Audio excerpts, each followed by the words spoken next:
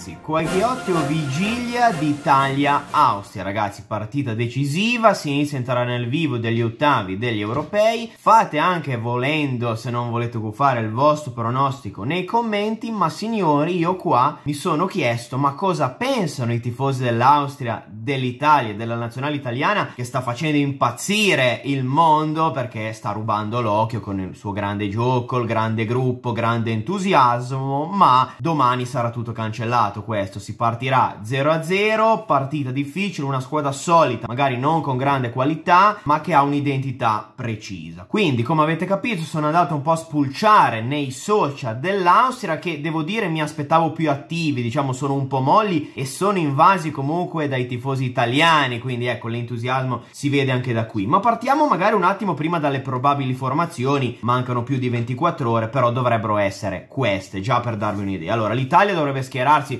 col suo solito 4-3-3 confermatissimo, Donnarumma in porta, Di Lorenzo, perché Florenza sappiamo non sta benissimo, Bonucci, Acerbi, quindi Chiellini non dovrebbe farcela, poi comunque non è al meglio, Acerbi da garanzie, Spinazzola sulla sinistra, ragazzi puntiamo tanto su di lui, Barella, Giorgini e Verratti, quindi Locatelli dovrebbe sedersi in panchina ma pronto a subentrare, Berardi immobile insigne, quindi ritorna poi il trio delle meraviglie là davanti. L'allenatore, lo sappiamo, il grande Roberto Mancini, mentre l'Austria 4-3-2-1, quindi modulo ad albero di Natale, diciamo a specchio più o meno con l'Italia, Bachmann in porta del Watford, Leiner, Dragovic, Interregger, ve lo ricordate, anche in ottica Lazio gli anni scorsi, Alaba che dovrebbe giocare da terzino, quindi per permettere magari maggiore spinta, per esempio con l'Olanda aveva giocato da difensore centrale, poi Leimer, Grealish, Schlager, i tre di centrocampo, Baumgarten, attenzione a questo giocatore classe 99 che è stato il giustiziere dell'Ucraina di Shevchenko, Sabitzer dell'Ipsia lo conosciamo, classe 94,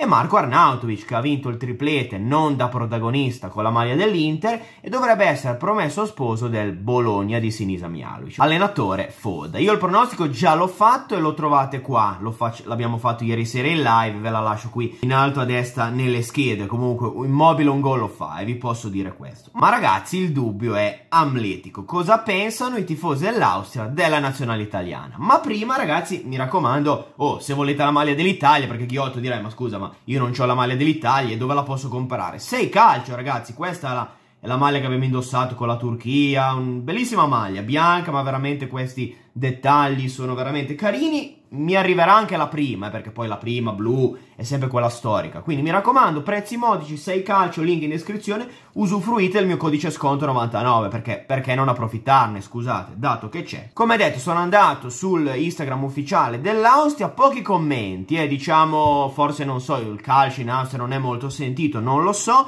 profilo, come detto, invaso dagli italiani, perché spesso sono i nostri profili invasi. Questa volta è un po' il contrario, ma andiamo a vedere alcuni messaggi. Non ho trovato molto, ma perché purtroppo il materiale era quello che era. Allora, c'è uno che dice contro l'Italia sarà fondamentale, buona fortuna e io qua non aggiungo altro, dico che anche per noi è la stessa cosa e abbiamo tutto da perdere perché affrontando l'Austria tutti gli occhi saranno puntati su di noi, c'è entusiasmo, c'è fiducia e dovremo imporre il nostro gioco, nessuna paura ma sicuramente quelli che hanno più da perdere siamo noi. Un altro commento che poi ho trovato sotto eh, una foto dichiarazioni del portiere Bachmann appunto del Watford che sta facendo molto bene, poi l'Austria ha una difesa abbastanza solida, un tifoso che dice Bachmann può diventare una figura chiave contro l'Italia, quindi immobile Insigne mi raccomando cercate di smentirlo, però è un ottimo portiere, io ho notato comunque una solidità difensiva, sono molto organizzati. La squadra austriaca, nonostante con l'Olanda ad esempio hanno preso tre gol, però vabbè l'Olanda ha una qualità superiore, speriamo di fare così eh, anche noi. E poi c'è uno invece un po' provocatorio, quindi forse non hanno così paura di noi, in effetti io non ho trovato commenti di gente disfattista che dice chi è l'Italia Italia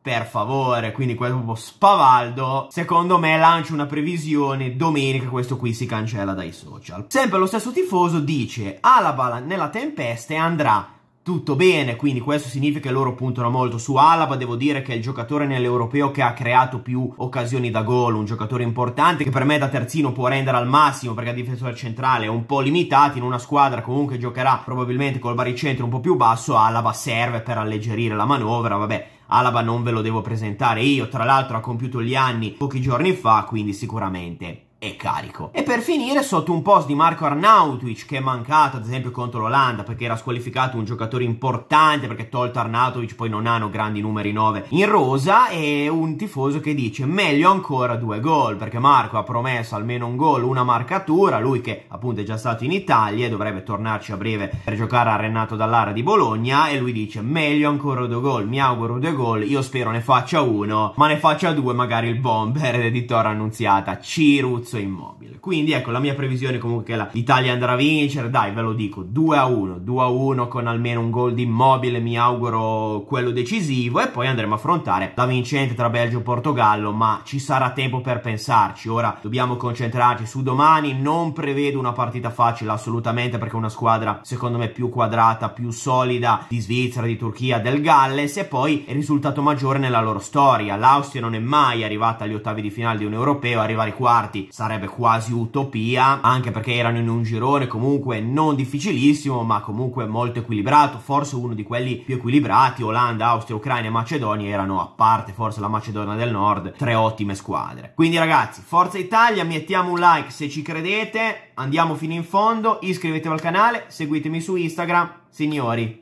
bella.